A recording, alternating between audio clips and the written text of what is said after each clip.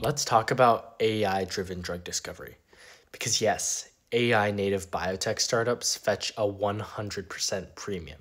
Over the last 12 months, venture capital has invested $3.2 billion in 135 drug development startups. But here's why VCs actually invest these companies aren't just discovering drugs, they're developing platforms. They take proprietary data sets like molecular libraries and patient data, train AI models to predict which compounds might work, then license that platform to pharma or use it to generate their own early stage drug candidates. And VCs love this model. Traditional biotech is binary your drug works or it fails. But AI platforms generate dozens of programs and diversify risk. It's lower stakes, faster timelines, and more predictable returns. So when you see AI drug discovery raises, ask are they making the drugs or selling the tools?